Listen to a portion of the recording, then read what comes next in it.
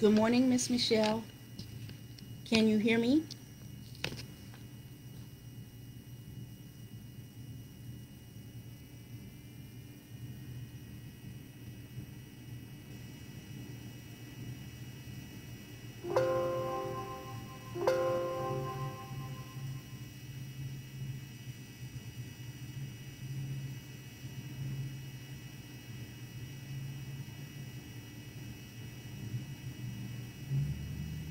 Great. We're going to be beginning in about two minutes. I signed on a little earlier this morning. We have a new feature that we're trying this morning. Uh, it is a dial-in number. I hope that you can see it on the screen. Um, it is a uh, dial-in number for the United States, 1-888-958-7272 and the access code is 408 093 103. Um, I hope that you can see that in the, in the column this morning. Um, I will I'll try to add it to my comment section just in case you cannot see it.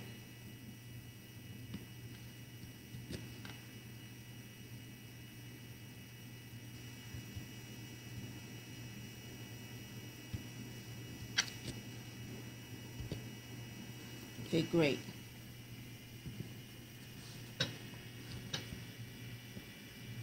We got about a minute before we begin. Good morning, Sister Gloria. Good morning, Sister Ramona. How are you both?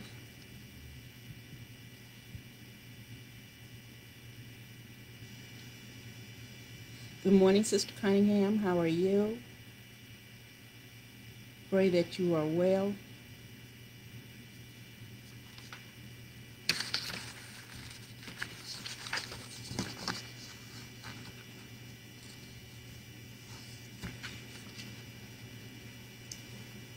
Good morning, and welcome to the Saturday morning breakfast Bible study of the Patton Memorial Christian Methodist Episcopal Church. I am Pastor Lydia Spragin, and I am glad to have you with me on today. Let us pray. Gracious Father, we thank you so much for what you have done and for what you are doing in our lives. We pray, Lord, that today will be no exception, that you will keep your word as you always do. Come now, Holy Spirit. Send your presence among us. Teach us what you would have us to know. And then, Father, let our lives be transformed by what we have heard. In Jesus' name, amen. Good morning, Reverend Olivia. I'm glad to see you were able to sign on this morning. We are in the book of Jude, and I just want to go back for a couple of minutes and go over a few things that we have covered to make sure that we are on the same page. Jude is the 65th book of the Bible. It's right before the last book of the Bible, Revelation. It is approximately a page or less long, depending on um, the format of your Bible. Jude is written for a specific purpose, and he is urging us to contend for the faith to not be swayed by every doctrine. In fact, the book of Jude is about the word apostasy. A P O S T A S Y. I don't know if I mentioned this word before, but it is a word that we need to understand if we are going to read the book of Jude. The problem in the book of Jude is that false teachers had invaded the church. This wasn't the first time for this problem or the last.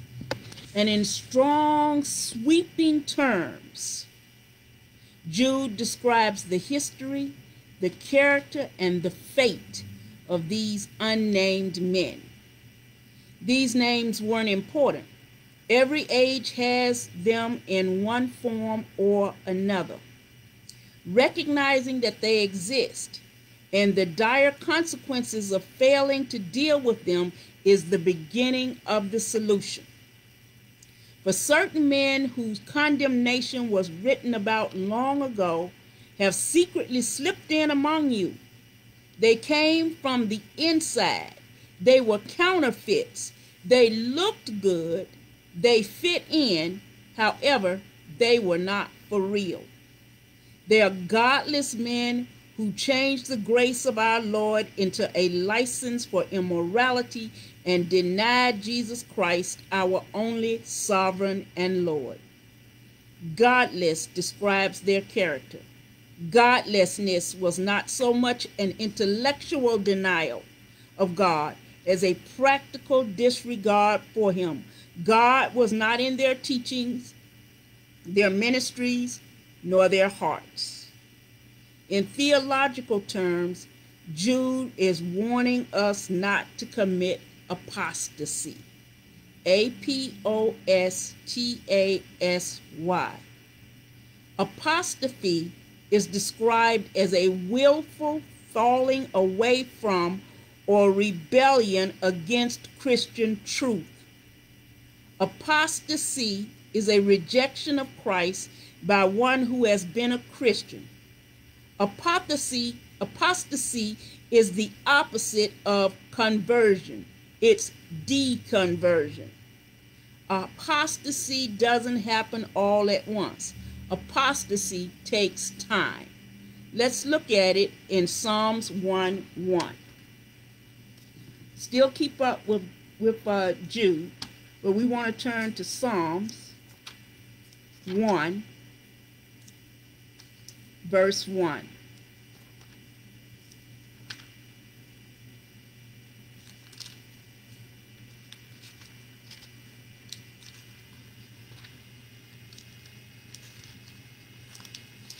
And here we read, and I'm reading from the New King James Version today. Blessed is the man who walks not in the counsel of the ungodly, nor stands in the path of sinners nor sits in the seat of scoundrels. Now, this is what is called a downward spiral. A downward spiral. First, he is walking, then he's standing, and then he sits. Then he's in the council. Then he's in the path. And then he's in the seat. Then he's of the ungodly. He's in the council of the ungodly. And then he's in the path of sinners. So he's going downward from ungodly people to people who are outright sinners. And then he's going to sit in the seat of the scornful. The scornful. Those are those who are an outright really against God, and they make no bones about it. It's a downward spiral. Another way of putting it is this, um, and we're not saying you you you are committing apostasy, but this is how you flirt with apostasy. You decide that missing church one Sunday won't hurt you. So you miss one Sunday. Then the next Sunday you decide, well, I missed last Sunday and pretty tired this Sunday, so you don't go again. The third Sunday arrives and you rationalize, well, I've already missed two Sundays and there's still one more Sunday before the first Sunday, so I may as well stay home. The next Sunday comes and you say, oh, well, I've missed three Sundays and, and I can wait because next Sunday is communion. And before you know it, you've missed a month of Sundays. It kind of sneaks up on you. That's how it is when you're falling away from the truth. You do it a little bit at a time. You rationalize what you're doing. You make an excuse for what you're doing. You come up with some kind of explanation that you can buy and sell about why you are not doing what you know that you ought to be doing. And pretty soon, you get real good at this. You can explain and you can uh, come up with an excuse that sounds plausible. The problem is you have slipped away from what is the truth to what is a lie. See, there's no in between. Either you're telling the truth or you're not. Either you're living the life or you're not. There is no in between. Now, yeah, we're not going to always uh, do everything right. Sometimes we might fall down. But I'm talking about pressing toward the mark of the higher calling which is in Christ Jesus. We want to be more like Christ. So we know that there are some things that we have to let go. We want to be more like Christ, so we want to know the truth, and so we study the Word. We don't want to fall away from the truth. And we're so rooted and grounded and established in the truth that when somebody tells us something, we can tell the difference between what is true and what is false. And so we know false teachers when we see them and hear them. Jude is saying that some false teachers had gotten into the congregation and people were actually believing and following what they were saying. That is where we come in at. We have to know how to uh, contend for the faith and deal with apostasy. Now, there are three ways that people generally fall away from the faith. The first way is through temptations. The second way is through deception. The third way is through persecution, temptation. Christians are tempted to engage in various vices that were a part of their lives before they became Christian. Uh, for example, idolatry anything that you put before God or assign a greater value to or give a greater meaning to than God. That's idolatry. Sexual immorality. I don't have to explain it. You know what it is. You know who it is that you're not supposed to be messing with. If you out there messing with them, something will tell you one way or the other whether or not it's right or wrong. It's the little voice inside of your head that says, don't do that. And you make up your mind either you are or you are not. Covetousness, wanting what someone else has so much that you hate. You hate. And you and you want it so much that you hate that they have it. You cannot be genuinely happy for them so that's covetousness. Deceptions. False teachers and false prophets come along spreading a new gospel which threatens to seduce them away from their devotion in and to Jesus Christ. The followers of Jim Jones were deceived. And you can think of other cult like situations where people have been deceived persecution. Christians who are threatened with certain death if they do not denounce the Jesus the Christ. Um, it always fascinates me and gives me encouragement when people start to hate on me because of something that I believe or something that I won't do. I think about the disciples. Now, the Bible only records uh, how two of them died, but history uh, and, and, and other stories tell us how they all died. And I'm just going to go uh, through a list that I found uh, quickly. Peter and Paul. Paul was beheaded.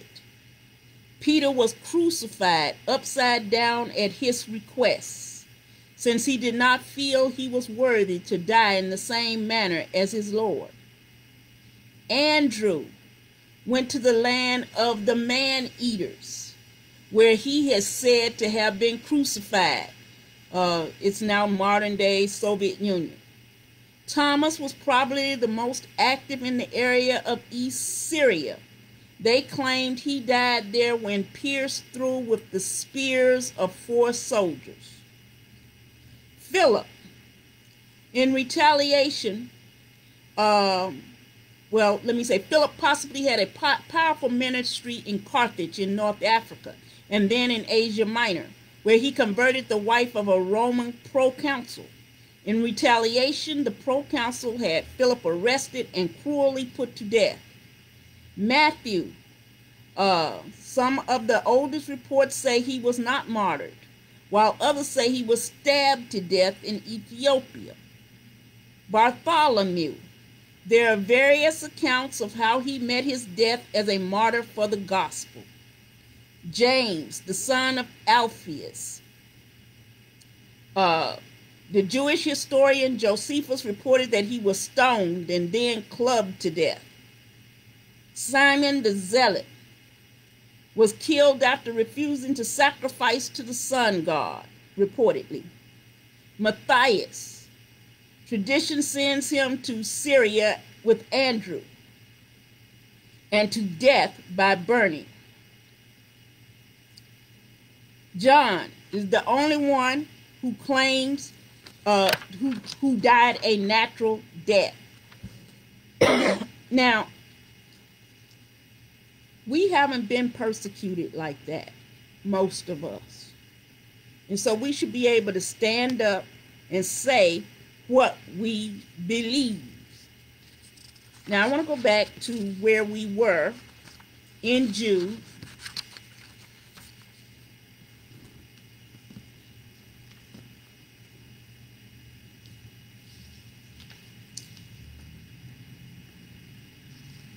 And we're going to talk today where we kind of left off. We had looked at the chiasm.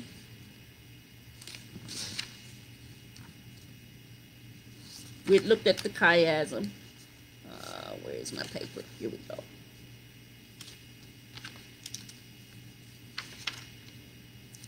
And then we were looking at um, how they were being deceived. Now, the first groups that we looked at in the chiasm, and I've done a lot of work since then, and I've kind of filled my notes in a little bit with some more things that I could teach on, but I'm not at this point. I'm beginning to really get into Jude. It's really beginning to get to be a deep book for me. So, um, um, I, I, I am really enjoying it. Now, we looked at the chiastic structure in three examples Israel, angels, Sodom. And then we looked at the turning of the chiasm, likewise, also these filthy dreamers. And then we looked at it back with Sodom, angels, and Israel. And we looked at each group and what it meant. Then Jude goes on to look at some individuals. And one of the individuals I discussed last week, which was Korah. And I'm not going to re-discuss him. But it says, Yet in the same way, these men, also by dreaming, defile the flesh, reject authority, and revile angelic majesties. Now, we know that they were talking about uh, Israel, uh, who, def- uh, and then they talked about rejecting authority.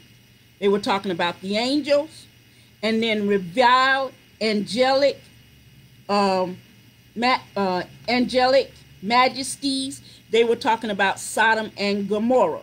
Those who defiled the flesh were the Israelites. Now, let me see if I got that straight.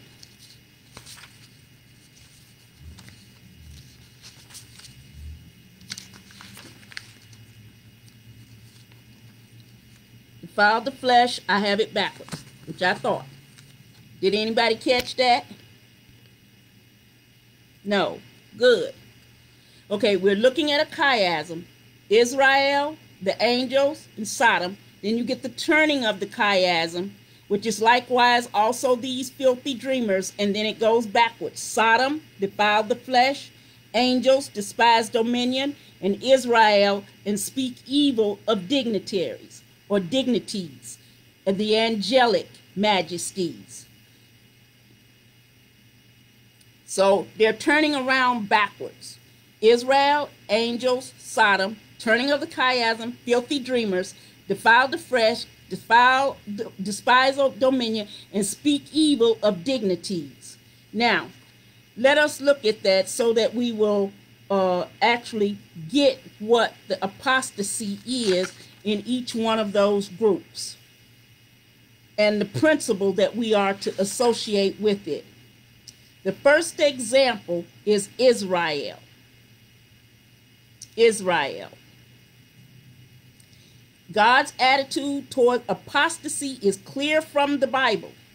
Jude gives three examples from the Old Testament of God's judgment on those who opposed his authority the unfaithful Israelites in the wilderness, the fallen angels, and Sodom and Gomorrah.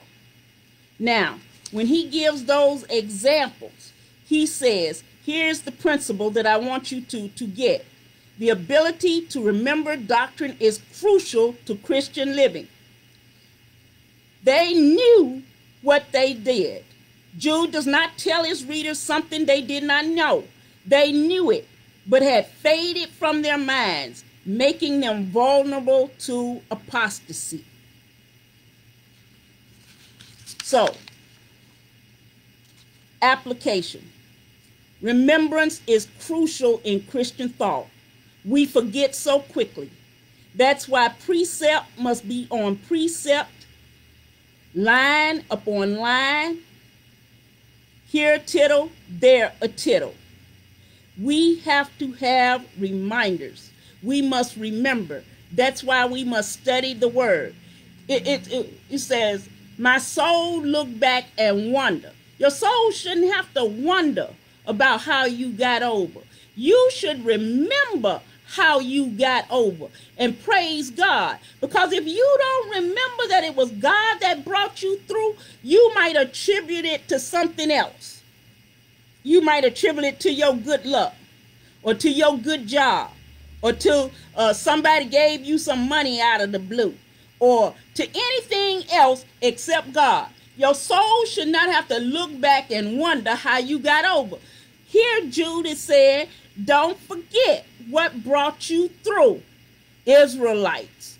Uh, remember that it was God that brought you through Egypt. Remember. Don't forget. So we want to keep in mind what we are supposed to be remembering. And then we get to the further description of the ungodly men in verse 8.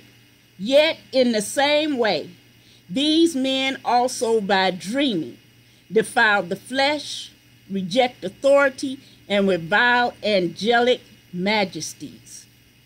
Jude now turns his three illustrations of apostasy in the Old Testament to describe four earmarks of apostates in his own day. And here are the four earmarks. Number one, having a little trouble with my eyes. I'm trying to get through it. Number one, They live in the unreal world of dreams. They, they, since they do not live in objectivity and in imagination, they do not face reality. They live in dream world. How many people do you know that live in dream world that can't seem to face reality? That's the beginning of apostasy. You must know the truth, and the truth will set you free. As long as you keep making an excuse for the truth, you will never be free. You have to admit to yourself what the real deal is. Secondly, the second earmark is of apostates is they defile the flesh. The word defile occurs only in our passage and in Titus 1:15 and Hebrews 12:15. Defile means contaminate, stain, corrupt. The, the, the, the best example that I can give of this is when you are, are ordained and they hand you your certificate and they say, Here is the seal of the Christian Methodist Episcopal Church. Don't stain it with your life. Don't stain it with your life. Don't do something that's going to take away from your witness as a Christian. Uh, I just let a few curse words slip. Okay, you let them slip. Ask God to not let you let them slip no more because blessings and cursings can't come out of the same mouth. You have now stained your witness with somebody. I heard the, the preacher cussing up a storm. They not gonna want to hear what I have to say about God. I'm cussing up a storm. I have now stained my witness. And I am causing somebody to fall away I am polluting myself so that I cannot be a good witness to somebody else. Number three, the third earmark of apostasy is rejection of authority. The word reject means to thwart the efficacy of anything, to nullify, to make void, to frustrate. Authority is dominion and has the idea of constituted authorities. In other words, God is telling us something to do, and we don't do it. God says, Go here. And we say, Oh, I'll do that later. And we don't do it ever. When God says go here, he don't mean for you to make up your mind when to go. He means for you to go. And you can ask him, God, do you mean for me to go now or later? God will tell you. But you have to act in obedience. This is not Burger King lifestyle. You cannot have it your way. You need to have it his way. Why? Because he is sovereign. He knows the plans he has for you. He knows what's coming. He knows how you're going to get out of your situation even before your situation occurs. He knows that you are never going to walk along through this situation because he's never going to leave you or or or or forsake you. And so if he is walking with you and holding your hand, he's going to lead you and guide you in the path in which you are to go. So when you reject his authority, you are leaning towards apostasy. And fourth is that they disparage authority, speak evil of dignitaries. These apostates love to slander dignitaries. Now, God is not a respecter of person. Titles should not mean anything to you. I'm going to respect this person because of their title. Now you're going to respect this person because they are a human being made in the image of God. And you're going to show them the love of God because God is love. When you start to uh, speak evil of people, you start falling away. Um, I, I know your mama said to you at one point in time, if you don't have nothing good to say, don't say nothing at all. Many of us cause other people to fall away from the church by the things we say about other folk. Uh, the pastor, talk about the pastor. I'm not going to that church. She said, and she's a member. Uh, you talk about uh, your neighbor. Well, the neighbor may not know God, but you do. If you can't help them, don't talk about them. Pray for them. Do something positive. Your witness depends on it. Your witness depends on it. We want to, one of the best um, things that somebody ever said to me as a lawyer was they said to me, I loved when you are appointed to me as a lawyer. And I said, why? They said, because you treat me like a human being. I thought to myself, I treat everybody like a human being. But then I realized that she must have had some experience where because she was behind bars or because she was charged with something that that was, you know, a little out there, or because she might have been using some kind of drugs, or because she might not have been dressed right, because whatever the reason, somebody at some point in time had made her feel less than human. You can't win nobody to Christ when they feel less than human. In fact, folk fall away from the church when they come to the church and they feel like they aren't treated right. There is nothing worse than a church hurt. Folk come to church hurting and they are looking for some type of healing and wholeness when they arrive. If we don't treat them like children of God, brothers and sisters in Christ, whether they are brothers or sisters in Christ or not, we need to treat them with love and respect and not be a respecter of person. Then maybe we can draw others. Because Christ has said, if he be lifted up, I'll draw all men unto me. But he has no hands except our hands, my mama used to say. No feet except our feet. No tongue except our tongue. Everything we do and say reflects Christ to that particular person. We are his image.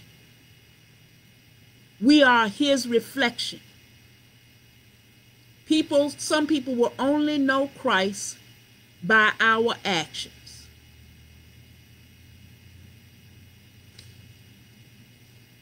So then we get to the point in um, Jude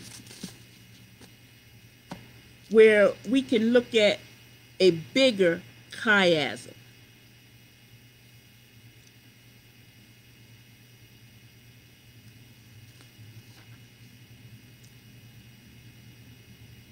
A.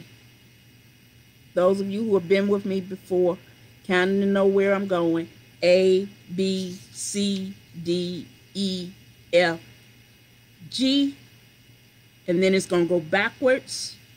F, E, D, C, B, A. So let's look at it. A, they address the beloved in verse 3. B, ungodly people have come in long ago designated. Verse 4. C.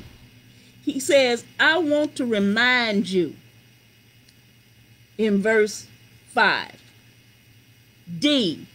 The Lord and judgment is in also in verse 5, the latter part. E. He has kept in eternal chains under gloomy darkness. Verse 6. F. These people blaspheme or against God. 8. Then we get to a key, a turnaround point. Michael did not blaspheme against the devil, but appealed God's word. Then we have F. These people blaspheme, verse 10. E. The gloom, E prime rather, the gloom of utter darkness has been reserved for them. Verse 13. D. The Lord in judgment. Verse 14. C. You must remember. Verse 17. B. It was predicted ungodly people will come in. 17 through 18. And then you have the address to the beloved. Verse 20. So you have the whole book laying out the themes. And then it gets to a turnaround point or pivotal point. It says, Michael did not blaspheme against the devil, but appealed God's word. And then we continue to see the reflected themes. God wants to make sure that we understand his word. So he says it, turns around, and says it again. The turnaround point is the main point of the text. So let us take a closer look at verse 9. Going back to Jude.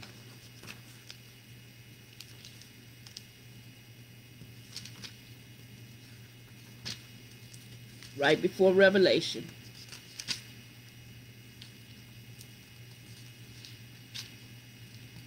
And we get to verse, and it says, Jude, yet Michael, the archangel, in contending with the devil, when he disputed about the body of Moses, dared not bring himself, bring against him a reviling accusation, but said, The Lord rebuke you. Now, here's the example that we are to follow. Why would the illustration of Michael and the devil be central to the parallel? Why would it be the turnaround point, the main point that that Jude is trying to make? Uh, the men who have crept in are not submitting to the word or to the church. They are criticizing the church and they are twisting the grace of God to serve their own ends. Remember that word licentiousness that we looked up? They are twisting the grace of God to serve their own ends. They are rejecting God's authority. They ultimately place themselves in a place of judgment over God and his people. The, their rejection of authority and their blasphemies are contrasted to Michael's submission to God's authority. First point Michael is submitting to God's authority. He's not rejecting it. He's not running away from it. He's not rebelling. He's not trying to find a way out. He's not trying to make an excuse. He's not trying to make himself look better than he is with some kind of a lie as to what he is before God. He is submitting to God.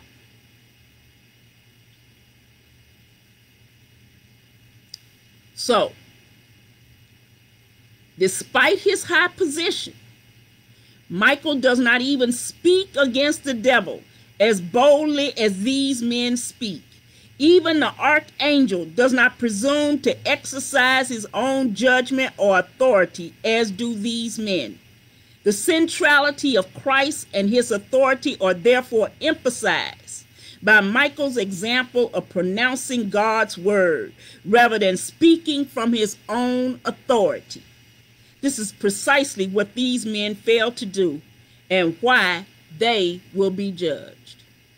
They've rejected God's authority. They speak boldly stuff they don't know, false teachings. They've taken God out of it. They're saying, do what you want to do. Have your own way. And folk are falling for it. And they're going to be judged accordingly. Now, let's stop for a minute. And let's pause.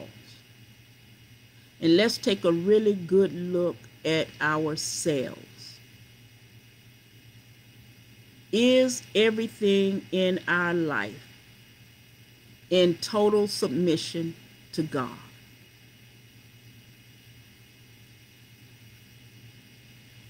Is the way that we handle money in total submission to God? Do we tithe first?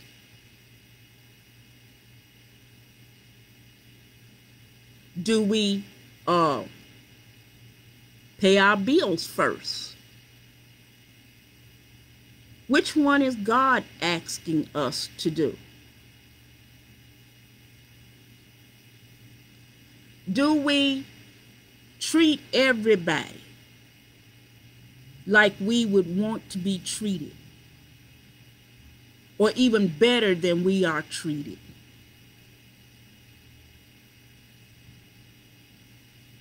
Do we show love to our fellow man? Are we living the life that we preach about, talk about, witness about?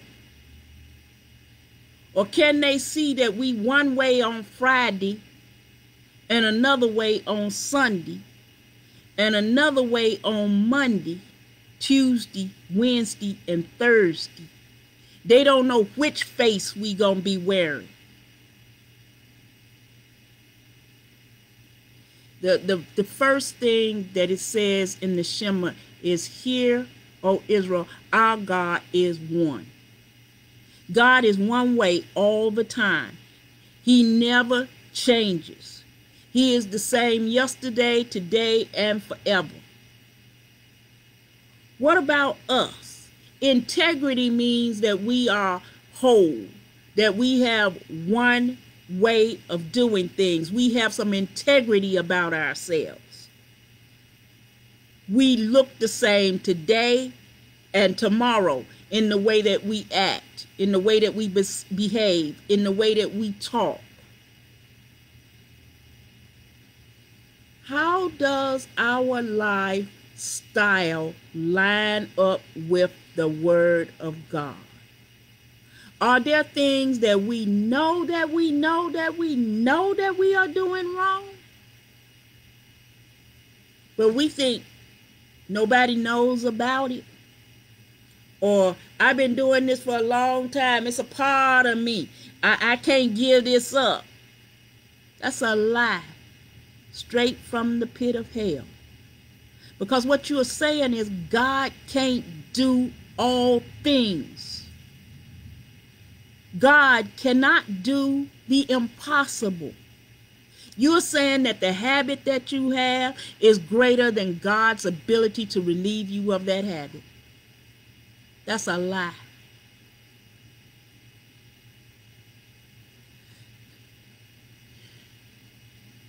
God can do all things. You can do all things through Christ, which strengthens you. That's the word.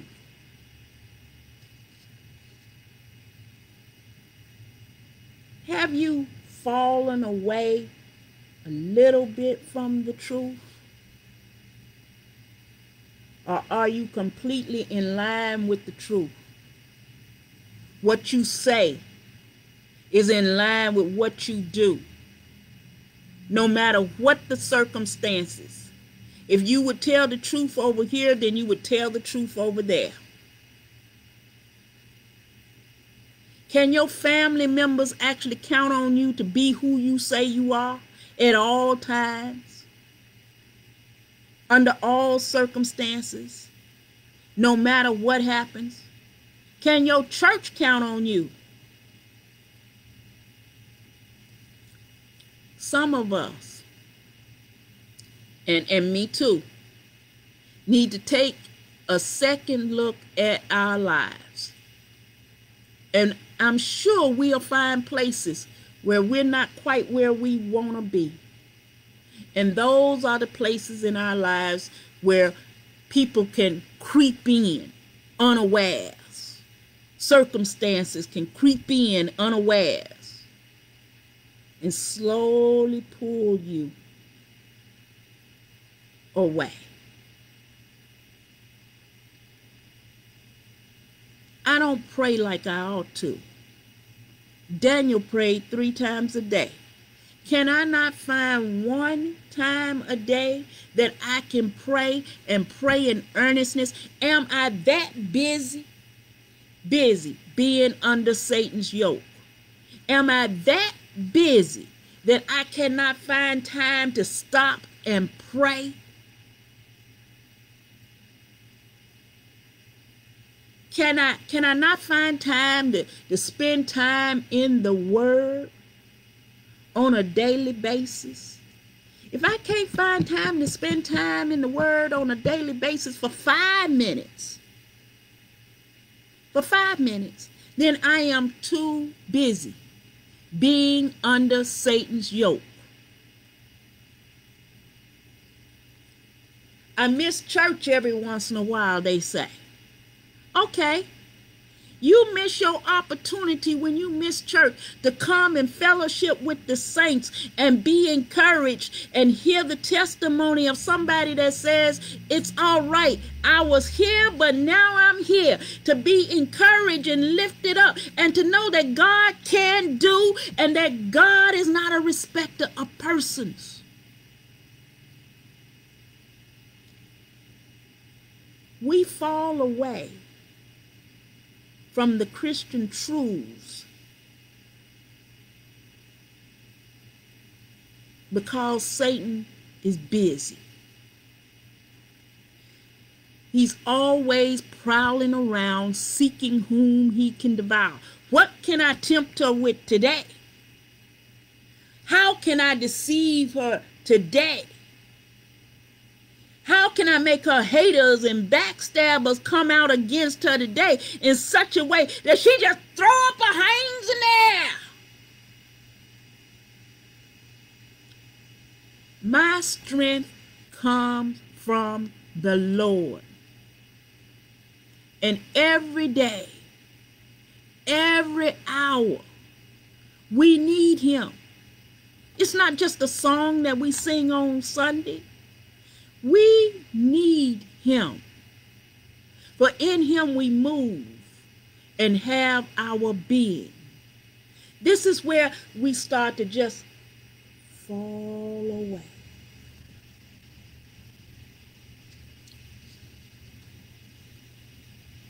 Michael, the archangel, in contending with the devil, and that's what we do. We fight with the devil every day. Ephesians 6 says we fight not against flesh and blood. Turn to it. It's a familiar passage of scripture.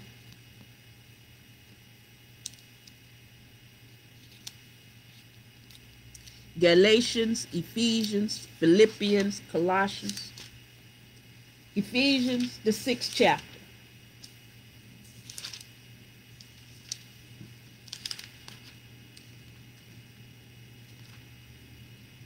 It says, beginning at the 10th verse, Finally, my brethren, be strong in the Lord and in his power of his might. Put on the whole armor of God, that you may be able to stand against the wiles which tricks of the devil. For we do not wrestle against flesh and blood, but against principalities, against powers against rulers of darkness of this age, against spiritual hosts of wickedness in the heavenly places. Therefore, take up the whole armor of God, that you may be able to withstand in the evil day, and having done all, to stand. Stand therefore, having girded your waist with truth, having put on the breastplate of righteousness, and having shod your feet with the preparation of the gospel of peace. Above all, taking the shield of faith, which which you will be able to quench all the fiery darts of the wicked one, and take the helmet of salvation and the sword of the Spirit, which is the word of God, praying always with all prayer and supplication in the Spirit, being watchful to, to this end with all perseverance and supplication for all the saints and for me, that utterance may be given to me that I may open my mouth boldly to make known the mystery of the gospel, for which I am an ambassador in chains, that in it I may speak boldly as I ought to speak. That says a mouthful. And I wasn't going to do this today, but I prepared it. So let me just simply say it. This is the truth that you need to hear. Jesus is the ultimate defender of the faith. Jesus did not have to gird his loins with the truth. He was the truth, the way, and the life. No man could come unto Father except through him. He did not have to put on the breastplate of righteousness because First Corinthians 1 and 30 declares that Jesus Christ is our righteousness. Jesus did not have to shod his feet with the preparation of the gospel of peace. Jesus is the gospel of peace. For John 14 and 27 reads, Peace I leave with you. My peace I give to you. Not as the world gives do I give to you. Let not your heart be troubled, neither let it be afraid. Jesus is our good news. He died, but he is not dead. He is yet alive. He arose for you and for me. That is the good news. The truth is, he did not have to take up the shield of faith because Jesus is the author and the finisher of our faith the substance of things hoped for, the evidence of things not seen. He did not have to put on the helmet of salvation because Jesus is our salvation. For God so loved the world that he gave his only begotten Son, that whosoever believeth in him shall not perish, but have eternal life. But God did not send his Son into the world to judge the world, but that the world might be saved through him. Jesus did not have to take the sword of the Spirit because in the beginning was the Word, and the Word was with God, and the Word was God, and the Word became flesh and dwelt among us, and we saw his glory. Glory as of the only begotten from the Father, full of grace and full of truth. This is my faith this is what I believe. This is why I preach the word and I am ready in season and out of season to reprove, rebuke, exhort with great patience and instruction. I am going to preach as a dying man to dying men. This is the faith that I believe and stay on the battlefield ready to defend until the day that the last trump sounds for me and I close my eyes when it is all over down here. And you can't hear me sing the songs of Zion anymore.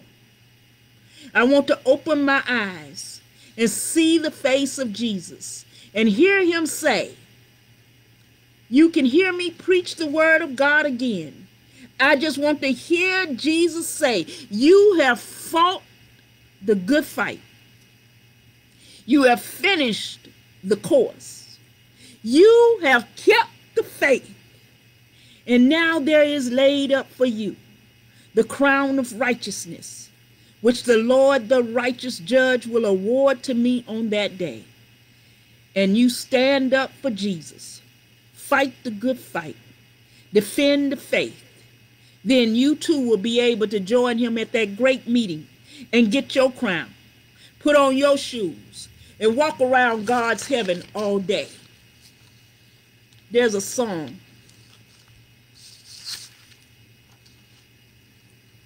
that I like to sing. And it says, My faith looks up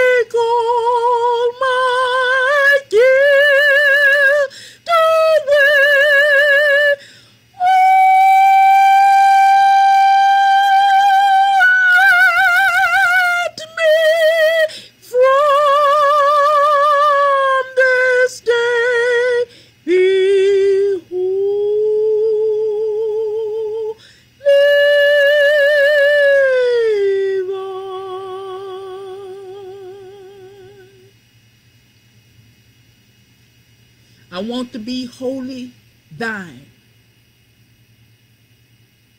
I don't want to be like Sodom and Gomorrah. I don't want to be like the angels. I don't want to be like Israel. I want to be like Michael, submitting to God's authority at all times, in all places, under all circumstances, no matter what happens. I want to keep the faith, the whole faith, and nothing but the faith. I want to speak the truth, the whole truth, and nothing but the truth. Jude is giving a stinging indictment of those that believe. He's saying, You let somebody creep in among you and take what you know that you know that you know that you know is the truth away from you. Listen. Even though we study about chiasms and we study about all kinds of other stuff, the point is to know the word. To be able to put on the whole armor every single day. And not just put it on, but know how to use the armor. Know how to use your sword. Know how to use your shield. Know how to use your breastplate. The point is for you to be able to stand up for Jesus no matter where you are and defend and contend for the faith. Know what you believe. And the only way that you're going to know what you believe is to study the word, to submit to God's authority. God is not out to hurt you. God's plans for you are better than any plan that you could have for yourself. His plan is to prosper you and not do you harm. I invite you today. If you know that you are in the church and you've been slipping and sliding and ducking and dodging, and you ain't quite living the life able to stand up and look God in the eye if he was to come today and say, listen, Lord, I confess that I haven't done everything I ought to do. Confession simply means that you agree with God. God already knows that you're going to mess up.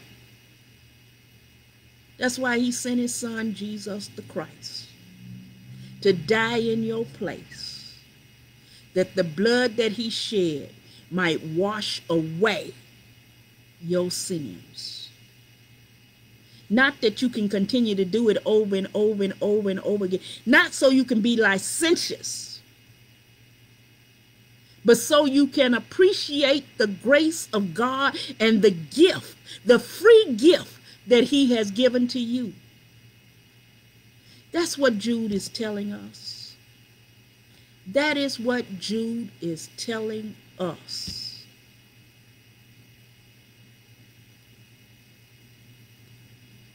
Let us pray. Gracious Father, we come now with our heads bowed and our hearts humbled. And we ask, Lord, that you would look inside of us. We are opening ourselves up, Father God, as if we were laying on a table and somebody was performing surgery on us. And indeed, you are, because Ezekiel said that you will take out our old stony heart and replace it with a heart of flesh. Father God, perform open heart surgery on us today that we might be given your heart so that we might have your desires, so that we might follow your will, so that we might walk in the truth, live in the truth, and show the truth of God to somebody who does not know it yet, whose life is full of lies and deceptions, temptations and persecutions.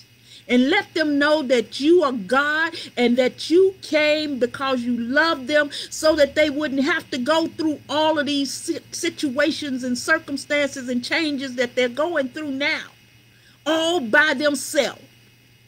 But you have promised never to leave us nor forsake us. And there is nothing like having you walk with us on a daily basis, talk with us, and lead us and guide us in the way that we should go. We don't want to fall away. If there be something in our lives, Father God, where we're not living right, where we putting on a show for somebody else, Father, we ask, Lord, that, that you call that pretense out, that fakeness, that hypocrisy out, and remind us that we supposed to look like you, represent you, and be your image in this world. Help us, Father God, to press toward the mark of the higher calling to be the best possible image that we can be. In Jesus' name, we do pray. Amen. Remember, be safe Practice social distancing. Wash your hands and pray. Until this time next week, remember God loves you and so do I.